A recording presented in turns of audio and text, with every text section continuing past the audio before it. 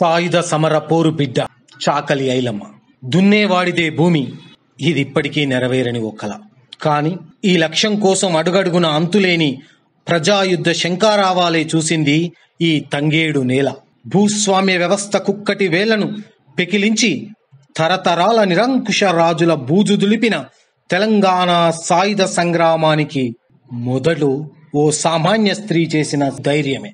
బాంచే నీ కాల్ముక్త అంటూ దొరలకు బానిసలుగా తెలంగాణ బిడ్డలు బతుకుతున్న రోజులు.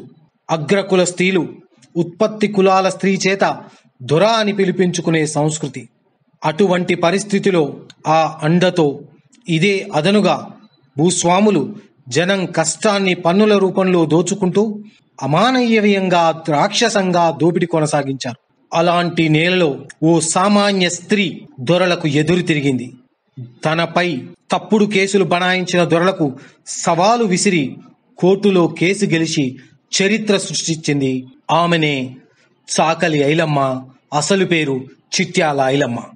పంతొమ్మిది వందల పంతొమ్మిది వరంగల్ జిల్లా రాయపర్తి మండలంలోని కృష్ణాపురం గ్రామంలో ఐలమ్మ జన్మించారు. పాలకుర్తికి చెందిన చిట్యాల నరసింహులతో వివాహం జరిగింది. ఈ దంపతులకు నలుగురు కుమారులు ఒక కుమార్తె. పెద్ద కుటుంబం కావడం వల్ల బతకడం కష్టంగా ఉండేది. కుల వృత్తితో వచ్చిన అన్నం ఎవరికీ సరిపోయేది కాదు. కొద్ది రోజులకే కుల వృత్తిలో బతుకు సాగలేమన్న విషయం అర్థమైంది. ఆ ఆలోచనలోంచి పుట్టిందే వ్యవసాయం చేయాలనే ఉపాయం. పాలకుర్తి పరిసరాల్లో మల్లంపల్లి దొర వద్ద భూమిని ఐలమ్మ కుటుంబం కౌలుకు తీసుకొని సాగు చేసేది. వెట్టి చాకిరిలో భాగంగా దొరల కుటుంబాల బట్టలు ఉతకడం గడీల ప్రాంగణాలను ఊర్చడం బరువులు మోయడం దొరల కచ్చరాల ముందు మైళ్ళ కొద్ది దూరం పరిగెత్తడం చేస్తూనే ఉన్నారు. ఐలమ్మకు వ్యవసాయం అంది వచ్చింది. ఆమె భర్తతో పాటు చేతికొచ్చిన కొడుకులు కూతురు శారీరక కష్టం చేయడంతో తమ చెమట ఫలించింది అతి తక్కువ కాలంలో ఐదమ్మ ఆర్థికంగా నిలదొక్కుంది దొరలకు వెట్టి చేసేందుకు నిరాకరించారు. ఐలమ్మ ఎదుగుదల స్థానిక భూస్వాములకు నచ్చలేదు. మరోవైపు జనగామ తాలూకా ఆరుట్ల రామచంద్రారెడ్డి నాయకత్వంలో ఆంధ్ర మహాసభ కమ్యూనిస్టు పార్టీ ఊరూరా సభలు పెట్టి దొరల ఆధిపత్యాన్ని ప్రశ్నిస్తూ సవాలు చేస్తూ ప్రజల్లో చైతన్యం కలిగించేవారు. చిన్న చితక కూలీల వారిని రైతులను ఎక్కువగా కూడగట్టి అవగాహన కల్పించేవారు. వారిని సంగపోళ్ళు అని ప్రజలు పిలిచేవారు. ఐలమ్మ భర్త నర్సయ్య కుమారుడు సంఘం కార్యకలాపాల పట్ల ఆకర్షితులై జనాన్ని పోగు చేసేవారు. ఆరుట్ల రామచంద్రారెడ్డి ఫిబ్రవరిలో పాలకుర్తి జాతరలో మహాసభ సమావేశం పెట్టాలని నిర్ణయించాడు. ఈ సమావేశానికి చుట్టుపక్కల గ్రామాల నుంచి అధిక సంఖ్యలో ప్రజలను సమీకరించిండు. సభలు నిర్వహించడం విష్ణూరు రామచంద్రారెడ్డి భరించలేకపోయిండు. నల్లగొండ వరంగల్ ఖమ్మం జిల్లాలో పెద్ద దేశ్ముఖులలో విష్ణూరు రామచంద్రారెడ్డి ఒకరు. జనగామ తాలూకాలోని నలభై గ్రామాల్లో నలభై వేల ఎకరాల భూమి కలిగి ఉన్న దేశ్ముఖ్ ఆయన.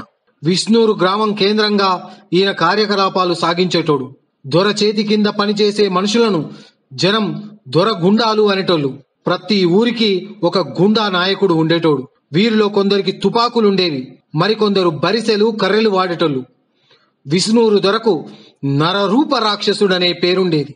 అలాంటి కర్కోటకుడి సమీప గ్రామంలోని పాలకుర్తిలో సామాన్యులు తలెత్తుకోవడం అంటే దొర ఆధిపత్యాన్ని సవాలు చేయడమే. విష్ణు దేశ్ముఖ్ అయిన అనుచరుడు శేషగిరిరావు ఐలమ్మ కుటుంబాన్ని ఇబ్బందుల పాలు చేశాడు. మరోవైపు జనంలో చైతన్యం పెరిగితే తన అధికారానికి ముప్పు వస్తుందని భావించాడు విష్ణు రామచంద్రారెడ్డి. అందుకని ఆంధ్ర మహాసభ నాయకులను అడ్డుకోవాలనుకుండు.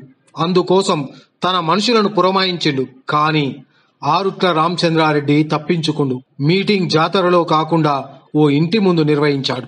దీనంతటికీ కారణంగా ఐలమ్మను స్థానిక దొరలు దేశ్ముఖ్ రామచంద్రారెడ్డి ముందు దోషిగా నిలబెట్టారు.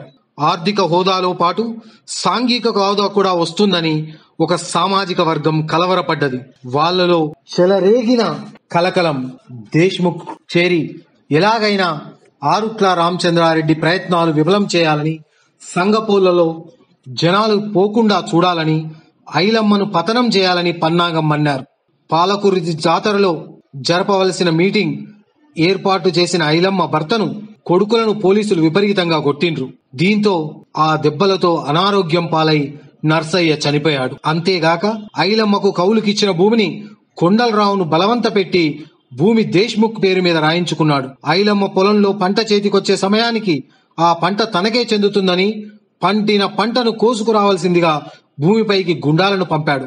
ఆరుగాలం కష్టపడ్డ పంటను దోచుకోవడం అంటే నోటి కాడ ముద్దను కాలదన్నడమే అనే భావనతో ఐలమ్మ సహనం నశించింది. ధీరోద్ధాతంగా నిలబడి ఎదిరించి శివంగి వలె గర్జించింది. పక్కనే ఉన్న గుత్పలను తీసుకుని గుండాలపైకి లంకించింది. అప్పటి నుంచి ఐలమ్మ గుత్పాకు సంకేతమైంది. దొర పన్నాగాన్ని పసిగట్టిన ఆంధ్ర మహాసభ కార్యకర్తలు పెద్ద ఎత్తున ఐలమ్మ పొలం దగ్గరకు చేరుకొని దొర పంపిన దుండగులను చెదరగొట్టారు. అనంతరం వారు పంటను మూటల్లో వేసుకొని ఐలమ్మ ఇంటికి చేరవేశారు. తన కుట్ర భగ్నం కావడంతో దొర ఆంధ్ర మహాసభ నాయకులపై దొమ్మి కేసులు పెట్టి జైలు పాలు చేసి చిత్రహింసలు పెట్టాడు. ఆమెకు తూర్పు ఇల్లు పడమట ఇల్లు అని ఉండేది. ఇంటిలోనే ఒక భాగాన్ని ఆంధ్ర మహాసభ సంఘం కార్యాలయానికి ఇచ్చింది ఐలమ్మ. ఐలమ్మ ఇల్లు కేంద్రంగా పాలకుర్తి సంఘం కార్యకలాపాలు చురుకుగా జరిగేవి. సుమారు అరవై మంది కార్యకర్తలు ప్రతిరోజు పాలకుర్తిలో కవాతు చేసేవారు. వారికి ఐలమ్మ అన్నం పెట్టేది. నిలబడి కలబడితే జయము సాధ్యమని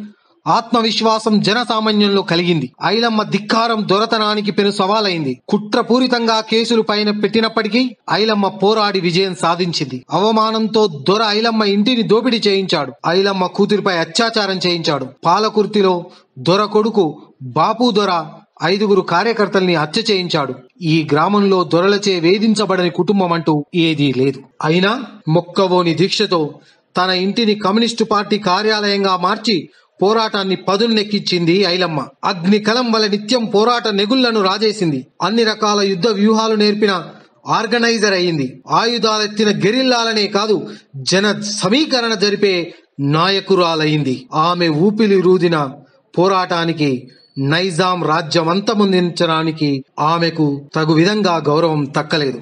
కనీసం స్వాతంత్ర సమరయోధుల పింఛను కూడా నోచుకోకపోవడం గమనార్హం. తెలంగాణ పోరాట ప్రతీక నిలబెట్టిన విగ్రహాలలో ట్యాంకు బండుపై ఆమెకు స్థానం దక్కలేదు. ఆమె విగ్రహం పెట్టకపోవడం అంటే చరిత్రకు ఒక్కర భాష్యం చెప్పడమే అవుతుంది. ఇది ఆంధ్రప్రదేశ్ రాష్ట్ర ప్రభుత్వం తెలంగాణ పోరాట యోధులపై చేసిన కుట్రగా మనకు కనిపిస్తుంది. తిరుగుబాటుకు ఓ స్ఫూర్తి ఐలమ్మ. బానిసత్వ సంఖ్యల నుంచి విముక్తి కలిగించిన వీరవనిత. దొరగడిలో గడ్డి మొలుస్తదని సవాలు విసిరి ఆచరణలో నిరూపించిన వీర వనిత నైజాం సర్కారు పనితీరుపై పాటలు కట్టబడిన ఐలమ్మ అవసాన దశలో పేదరికంతో బాధపడింది. మనవరాలి ఇంట్లో శేష జీవితం గడిపింది. చివరకు వీరనారి ఐలమ్మ పంతొమ్మిది వందల ఎనభై ఐదు సెప్టెంబర్ పదిన చనిపోయింది. దున్నేవాడిదే భూమి అన్న నినాదంతో జరిగిన తెలంగాణ సాయుధ పోరాటానికి భూమిక మన ఐలమ్మ. ఆమె వారసత్వాన్ని నేటి యువతి యువకులు స్వీకరించాలి. సమాజంలో జరుగుతున్న అన్యాయాలపై నిత్యం ఉద్యమించాలి. అప్పుడే ఐలమ్మ లక్ష్యాన్ని మనం ముందుకు తీసుకుపోయిన వారసులమవుతాం. జోహార్ చాకలి ఐలమ్మ అలియాస్ చిట్యాల ఐలమ్మ.